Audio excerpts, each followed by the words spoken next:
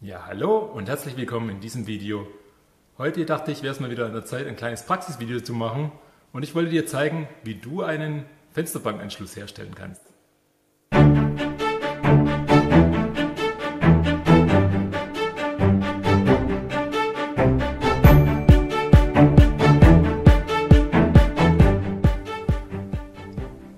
Gut, jetzt habe ich mir das Ganze hier vorbereitet. Ich habe mir schon mal eine Fensterbank gekantet. Dann brauchen wir dazu einen Anreißer, eine Quetschfaltenzange, eine Flachzange, eine Spitz- oder Rundzange, einen kleinen Schlosserhammer und vielleicht nachher noch eine Blechschere. Wir zeichnen das Ganze jetzt erstmal mit dem Anreißer an.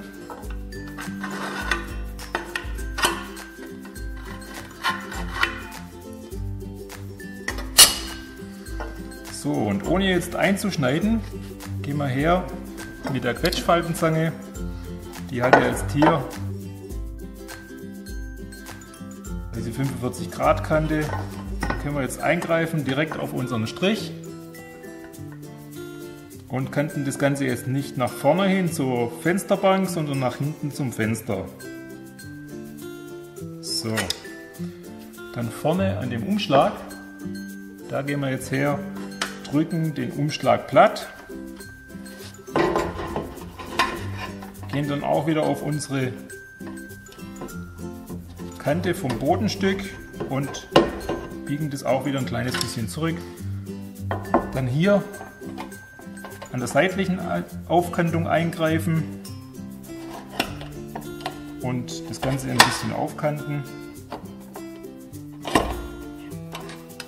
Und dann merkt man schon recht schnell, Blende vorne, die klappt nach hinten Richtung Fenster und das wollen wir natürlich nicht. Wir wollen, dass das Ganze nachher schön im Gefälle verlegt wird und dass die Blende natürlich senkrecht runter steht. Damit wir das Ganze wieder einrichten, gehen wir einfach her, tun die Spitzzange nehmen, greifen ein Richtung Fensterbank, drücken feste zu und rollen das Material rollen oder ziehen das Material so nach außen.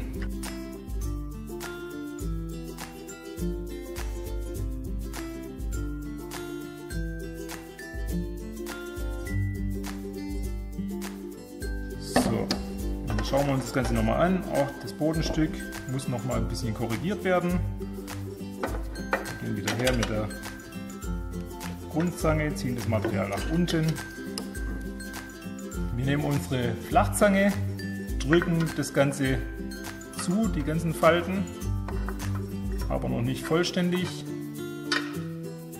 sodass wir immer noch eingreifen können, wenn es da jetzt irgendwas nicht passen sollte. Schauen uns das Ganze nochmal an, jetzt sieht es schon besser aus. Auch der Steg hier hat sich gerade gerichtet, fast, wir sind fast gerade. Wenn das so ein kleines bisschen gewölbt ist, das ist nicht so schlimm. Und dann können wir das Ganze jetzt mal mit dem Schlosserhammer noch ein bisschen plan schlichten.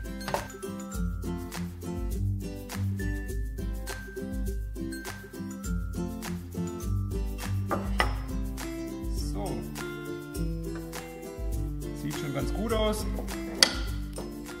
Wir nehmen unsere Flachzange nochmal bis zum Anschlag rein. So, das mal anlegen, schön an der Kante. Und jetzt ziehen wir das ganze, die ganze Falte zur Seite hin, greifen nochmal so ein, biegen das Ganze rüber. Und jetzt sehen wir auch schon unser Steg hier zum Fenster hin. Der hat sich wieder gerade gerichtet. Jetzt gehen wir nochmal her mit dem Schlosserhammer, tun das ein bisschen plan schlichten.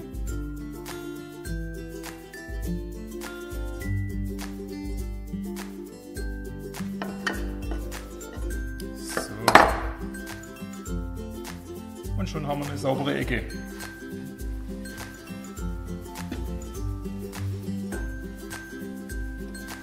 Wir haben alles komplett geschlossen.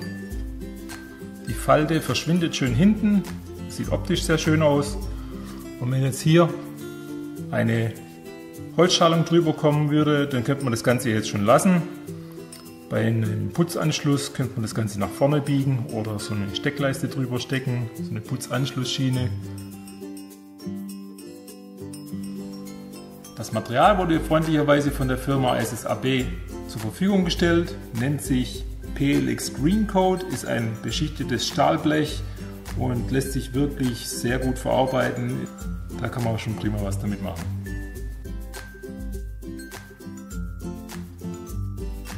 Ja, jetzt hoffe ich, du hast was gelernt und konntest was mit dem Video anfangen. Wenn ja, dann schreib doch was unten unter die Kommentare. Vielleicht hast du auch ein paar Anregungen oder so. Gib einen Daumen nach oben, abonniert den Kanal auf YouTube, würde mich freuen. Martin Buck für Spengler TV.